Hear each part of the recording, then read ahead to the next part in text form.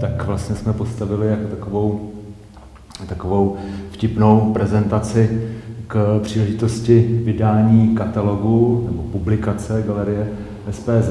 V podstatě je to takový nějaký průřez skoro už pětiletou existencí eh, galerie.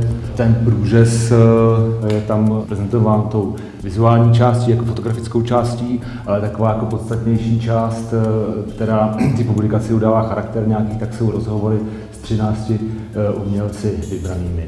Není to chronologicky uspořádaný, je to, je to řekněme taková jako výběrová publikace. Hlavně je to takový jako penzum e, názorů, který jako proběhlo tou galerii. Je to takový výběr, který se snažil tam dávat různý jako přístupy, které se v té galerii objevily.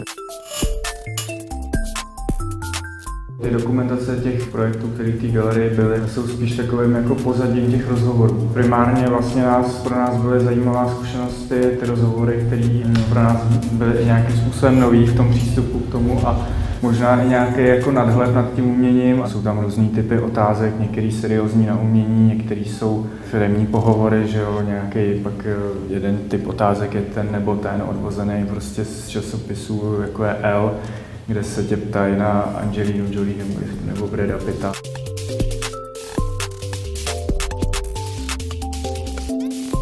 Ta uh, trafika. My tady máme tři výstavní formáty v galerii. A jeden z nich je, uh, se jmenuje Klubovna, což je formát, který se nemá primárně koncentrovat na výtvarné umění, ale je to spíš taková jako oddychová aktivita. Je to často jenom vernisážní, taková krátkodobá věc a taková odlehčená prezentace toho katalogu, tak, tak se týká tady té klubovny. Každopádně eh, občas se nám stane, že i se prolnou ty programy, ten vnitřní, ten galerijní, který se teda týká jako výstavy autora, který ho oslovíme, který si vždycky vybírá hosta. K tomu je paralelní program, který se týká vlajky, která je na to jsou galerie a vlastně za tu dobu se nějak dvakrát, třikrát se stalo, že se to prolnulo, eh, že nějaký autor měl nápad na to, jak pracovat současně s galerijním prostorem a s vlajkou. My jsme vlastně pro tu příležitost toho křestu to udělali taky a e, na té vlajce motiv e, tyráže ty knížky. Takhle, grafický design dělal Robert Janza s Petrem Bosákem, který vlastně stojí i za e, vizuálním stylem té galerie od začátku, takže to mělo i logiku, že se na tomhle podíleli. Pozorný divák si všimne, že dole je číselný údaj, který znamená rozměry té galerie. Vlastně jsme si uvědomili, že často, když takovýhle katalog vidíme, tak máš problém s tím, že uh, si nemíš ten prostor představit, nebo nevíš, nevíš, kolik to má místností a tohle je vlastně dobrý, dobrý vodítko toho, jak to vlastně vypadá.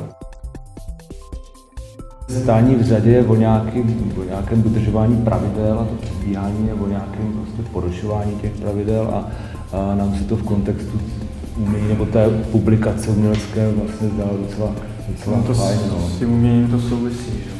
Nevím, co říkal ten, Jirka ten... Černický, říkal, že když byl mladý, tak předbíhal, hlavně na vleku, ale teď už nepředbíhá, protože je to nevýchovný pro děti. Chce jít vzorem. Chce jít vzorem.